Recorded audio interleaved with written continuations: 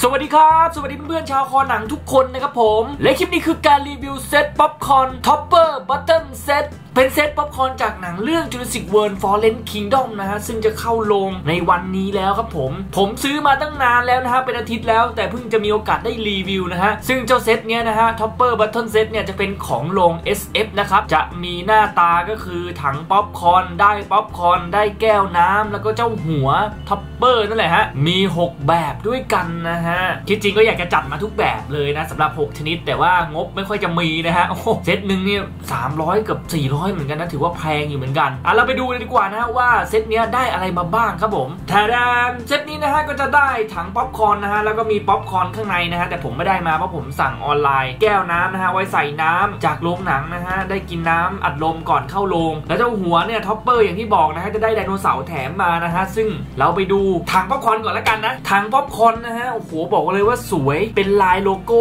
ของ Jurassic World Fallen Kingdom นะฮะเพื่อนๆอาจจะเห็นไม่ชัดสักเท่าไหร่เพราะว่าผมถ่ายในตอนกลางคืนเนี่ยสีเนี่ยสกรีนมาได้แบบเฉียบคมและแบบสีเข้มดีนะฮะ นี่คือโลโก้ของ Jurassic World Fallen Kingdom แล้วก็ฉากหลังเนี่ยจะเป็นภูเขาไฟระเบิดนะฮะ ซึ่งเป็นธีมเรื่องหลักของภาคนี้นะฮะ ถือว่าผมว่าสวยแหละสำหรับ bucket อันนี้นะ เอาไปวางประดับบ้านที่แบบเหมือนแบบเป็นแฟนมันแท้ไดโนเสาร์เลยอะไม่ใช่เหมือนเรื่องอื่นที่แบบสกรีนลายออกมานี่แบบบางทีมันดูเกะกะบ้านใช่ไหม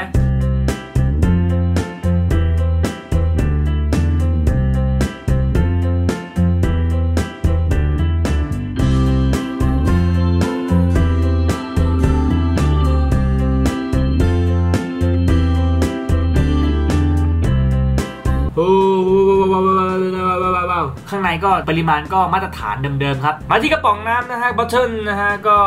เป็นกระป๋องน้ำที่ดีไซน์ออกมาได้โอเคนะฮะมีสายถืออย่างนี้ด้วยหิ้ว ถ้าใครมีลูกเล็กๆเนี่ยสามารถให้ลูกเอาไปกินที่โรงเรียนได้นะฮะหรือว่าทำงานคุณไม่อายก็อาจจะเดินหิ้วไดโนเสาร์ไปทำงานก็ได้นะ ผมให้ดูโมเดลไดโนเสาร์ก่อนแล้วกันนะฮะที่ก็เป็นที่น่าเสียดายนะที่ผมจัดมาแค่ตัวเดียวนะฮะถ้ามันไม่แพงผมคงจัดมาทุกแบบให้เพื่อนๆดูแล้วของผมเนี่ยจะได้เป็น T-Rex นะฮะพระเอกของเราในหนังไดโนเสาร์ทุก ๆ เรื่องนะฮะอย่าเรียกพระเอกเลยเรียกตัวโกงดีกว่า ต้องบอกว่าเป็นโมเดลที่งานเนียนนะฮะแม้จะตัวเล็กแต่แบบเก็บรายละละเอียดได้แบบดีมากๆนะฮะ ถือว่าใครที่ชอบไดโนเสาร์เนี่ยคุณจะรู้เลยว่าคุ้มค่ากับราคาดูงานนะดูสีน้ำตาลอะไรอย่างเงี้ยแล้วก็มีรอยหยักมีสีโทนสีที่แบบว่า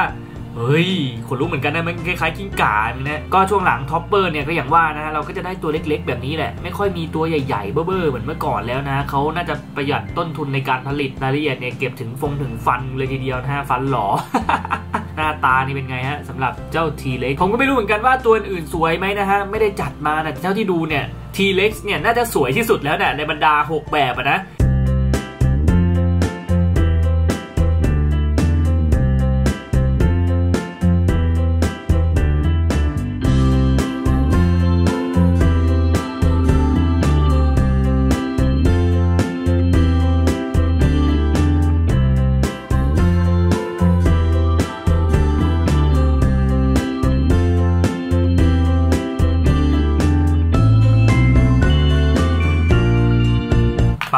ก็มาจับเสียบใส่ที่หัวของกระบอกน้ำนะฮะก็จะได้แบบนี้นะฮะแถมๆเก๋ไม่เบานะฮะสำหรับกระบอกน้ำส่วนรายละเอียดกระบอกน้ำนะฮะตรงนี้นะฮะหัวเนี่ยจะมีที่เปิดปิดนะฮะสำหรับใส่หลอดครับผมแน่เห็นไหม สไลด์มากๆเนี่ยน่าจะหวานได้เหมือนกันนะข้างบนเนี่ยจะเป็นสีดำนะฮะ แล้วก็สกรีนด้วย Jurassic World Fallen Kingdom Universal Studio and Amblin สำหรับวัสดุเนี่ยก็จะเป็นพลาสติกนะฮะสำหรับตัวนี้นะฮะ ซึ่งมันเป็นพลาสติกใสนะ ถ้าไปคงไปขูดเนี่ยอาจจะมีรอยคงรอยข่วนได้ต้องรักษาอยู่เหมือนกันนะฮะ ต้องใช้อย่างระมัดระวังตรงกลางเนี่ยก็จะเป็นลายโลโก้ Jurassic World Fallen Kingdom อีกแล้วผมไม่รู้จะสกรีนอะไรแล้วมั้งแม่งสกรีนแต่โลโก้นะฮะถ้าเป็นรูปไดโนเสาร์เนี่ยมันจะเท่นะว่าปะ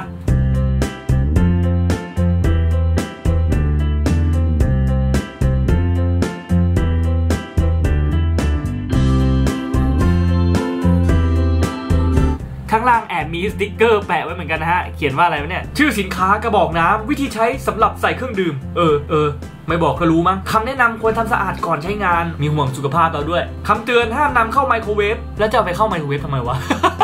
เดือนที่ผลิตพค18โหผลิตแล้วก็ขายเลยเนี่ยนะ ผลิตโดยบริษัท SF Corporation อ๋อ ก็จบไปแล้วนะฮะกับการรีวิว Topper Bottle Set นะฮะก็เป็นเซตป๊อปคอร์นของ Jurassic World Fallen Kingdom นะฮะ ซึ่งต้องบอกว่าผมว่าแฟนๆไดโนเสาร์เนี่ยก็ไม่ควรพลาดนะสำหรับเซตนี้แม้ว่าจะ Topper มันจะเล็กก็ตามของ SF อีก 1 เซตนะที่รู้สึกว่ารู้สึกคุ้มอะก็เซตนี้ผมปล่อยนะฮะ ผมปล่อยตามราคาที่ซื้อมาใครสนใจติดต่อมาทางเพจคอเป็นหนังได้นะฮะก็รอผู้สนับสนุนอยู่ครับผมซื้อมาแล้วก็ปล่อยเลยนะฮะให้ผู้สนับสนุนอยากได้จริงๆ ติดต่อเข้ามาครับผม ขอบคุณมากครับที่รับชม ไว้เจอใหม่ ชอบคลิปอย่าลืมกดติดตาม subscribe กดไลค์ กดแชร์ กดคอมเมนต์นะฮะ ไว้เจอใหม่กับการ รีวิว สวัสดีครับ